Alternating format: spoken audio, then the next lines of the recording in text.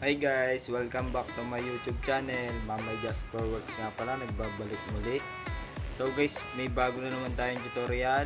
Meron tayo ditong motor na Rossi 100.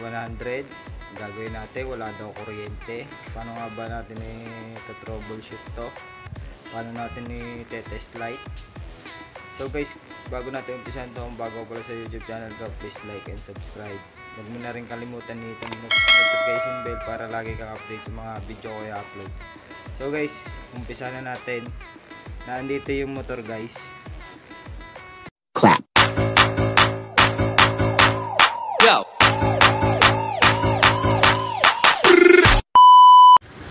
So guys, ito yung motor na Rusi 100. Wala daw kuryente kahit tadyakan.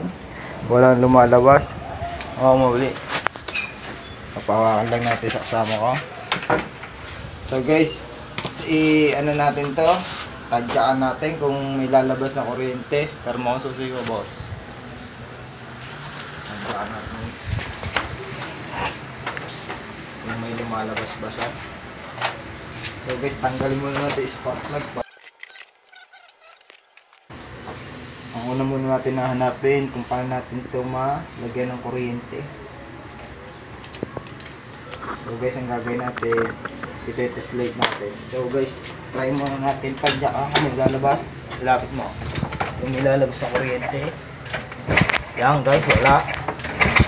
Nakita nyo guys, wala. Nakasusi siya. Nakasusi na yan. Wala pa rin lalabas na kuryente. Yan, kahit tadyakan mo, wala. So guys, ang gagawin natin i... Ang gagawin natin i test light natin to guys. Paano nga ba mag-test light?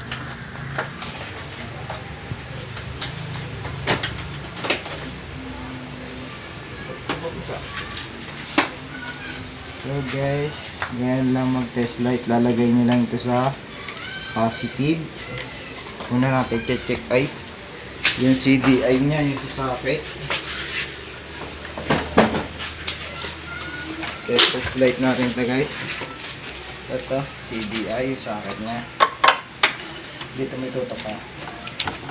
Okay guys. Ito guys, itutok natin dito.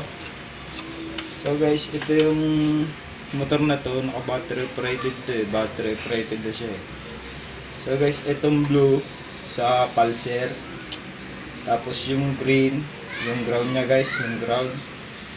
Ground niya. Tapos itong black na may na yellow, ito yung papunta ng ignition coil. Tapos itong black guys, yung purong black, ito yung positive niya. Yan guys, ang gagawin natin guys, test light natin kung nagana ba yung mga linya niya. So guys, ang una nating test light tong ground. Ground muna tayo guys, tingnan nyo kung iilaw. Tingnan mo to. Tingnan nyo guys kung iilaw yung ground. Yan guys, may ilaw yung ground. Tapos sunod natin guys yung itong ignition coil, yung papunta sa ignition coil, itong itim na may yellow. Ito guys, test light natin. Yan guys, nailaw siya. So, tapos yung susunod natin guys, yung pulser. Kung nagana ba siya. Tapos tingin natin yung pulser. So guys, dito natin lagay. Titingnan lang naman natin kung nagana tong yung linya niya, kung buo ba. Yan guys, kitang kita nyo naman guys, umiilaw siya. Umiilaw oh, huwag na tapos muna pa dyan ka na ilaw na. Nailaw to guys oh, pulser niya. Ibig sabihin buo yan, pulser. Buo. Tapos guys, ang susunod na itetester natin guys yung positive. Itong black. Itong black guys. Ito yung positive niya. So ito, lilipat natin. Ito, lilipat natin dito sa ground. Tapos, i-tester natin to. Itong black. Tingnan natin kung iilaw. So yan guys. So yan guys, wala. Wala siyang ilaw. Hindi siya umiilaw. Yung positive niya, hindi umiilaw. Tapos ang susunod naman natin yan guys. Susunod natin guys, i-tester natin to yung ano itong ano niya yung galing galing ano regulator itong wire na to guys tester muna natin yung galing ng battery. So guys ito yung galing ng battery. So ito yung galing ng regulator guys. Ito yung tester natin test light. So papapadyakan natin. So padyakan mo. Ito guys dati ilaw to. Yan guys okay yung regulator natin na ilaw. Nag charge siya ng battery. So guys ay na sira ng ay na agad ang issue ng motor natin. Yung kanina yung positive. To to guys. Yung black. Black. Ito yung positive. Ayaw umilaw. So ito yung problema kung bakit walang kuryente motor natin. Guys ito lang. Yung may yung may yung itim. Purong itim. So ang gagawin natin dito guys idud ano natin to ibabypass natin papunta dito sa brake switch niya guys brake switch hanapin lang natin yung brake switch niya kung saan siya nakalagay nagana po ba ang brake switch ito Mm. ilaw sa likod Oh.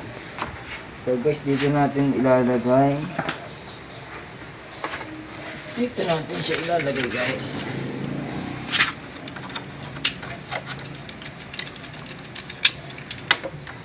So guys, dito lang natin siya ilalagay. Itong kulay black na to. Dito natin. Siya. Tatap. Papunta doon sa may kulay kulay black papuntang CDI ito guys dalutan lang natin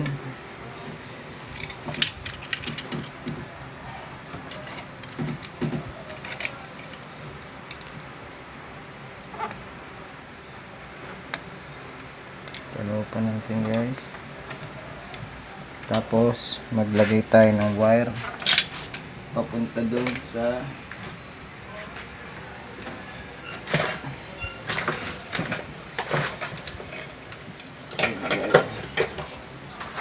Okay guys.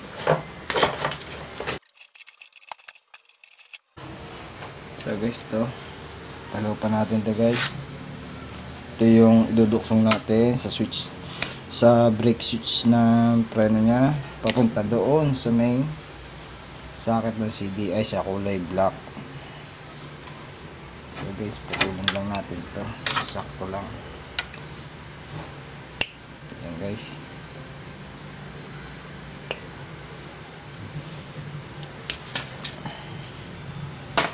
So guys, dito natin siya itatap. Dito. Tapos yan. Babalot. Babalutan lang natin. So bago pala niyan guys, test, test light muna natin kung nagana yan. Naka, wala din pala. Susi mo boss. Susi mo boss. Susi natin. Nagana ba yung linyang iyon? So guys, preno. Susi ba? Wala. Wala. Ano, okay lang, okay. Ba't wala? Hindi yata na gana eh. Hmm. Sa bitaw. Ano gana? Sa may... Ay, hindi pala nakakapat eh. Gago! Si ground guys, si ground. Dito nakapat yung ating test light. So yun guys, nailaw siya guys. Kitang kita nyo oh. Nailaw siya. Nailaw siya guys. So guys, dito natin siya itatap. Tap natin. Punta doon. Punta dito guys sa kulay black. Talupan lang din natin guys. Ay, ganda na lang pala guys. Isuksok na lang natin doon para hindi na tayo magtalo.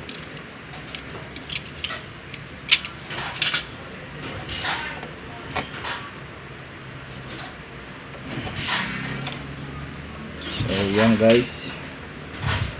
Dito natin siya ilalagay. Yan. Tapos ganun lang natin. Tapos suksok natin CDI. Guys, suksok natin to. Tapos guys, ang susunod natin na try natin kung may kuryente na siya. Tutok mo dito, boss. Yan, kung may lalabas na kuryente.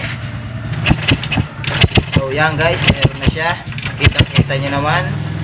Maliwanag na maliwanag yan guys. Pakita mo. Ayan guys. Meron na siya oh. Kita ba? Ayan oh. Kitang kita oh, lakas. So guys, ayan lang guys. Ayan. Itong galing sa switch, sa brake switch. Tinalupan ko yung kulay itim. Nilagyan ko siya ng wire papunta doon sa positive niya guys. Positive niya kulay black. Ito guys oh. Dito ko lang siya nilagay. Diyan ko lang siya guys. Guys nilagay oh. Yung kulay black na yan. Hindi ko na siya tinalupan, doon ko na siya sinuot para hindi na siya, wala na siyang talop. Sinuksok ko na lang doon sa kanya sakit. So guys, ito positive niya. Wala kasi itong supply. Kaya ang ginawa natin, nag-bypass tayo ng wire. So guys, babalutan lang natin to. Balutan natin. Tapos, pag nabalutan natin, check na natin kung andar yung motor ng aking pinsan. Guys, balutan natin to. Balutan lang natin ng electrical tape para iwas sunog. So guys, ang gagawin natin guys, testingin natin kung aandar na ba yung motor ng pinsan ko. Guys, maliwanag naman. Guys, balik lang natin spark plug. Kuha lang natin yung anong kwako. Pagdar na natin.